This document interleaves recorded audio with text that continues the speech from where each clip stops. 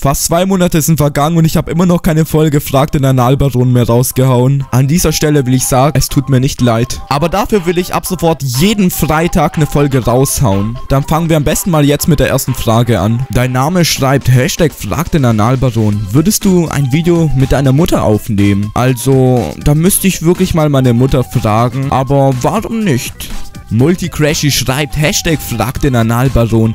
Was willst du noch alles auf YouTube erreichen? Ich habe viele Ziele auf YouTube. Und auch ein sehr großes Ziel. Nämlich will ich deine Mutter ficken. Da nicht jeder Bürger hier in Deutschland Ironie versteht, will ich nochmal klar machen, das alles was ich hier sage, sind nur billige kleine Jokes.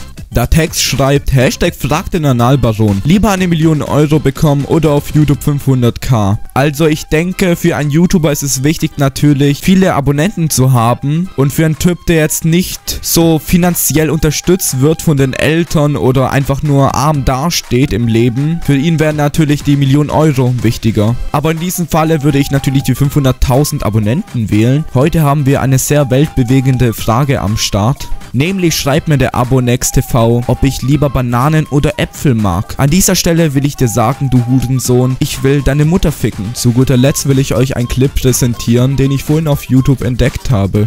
Ausländer raus! Ausländer raus!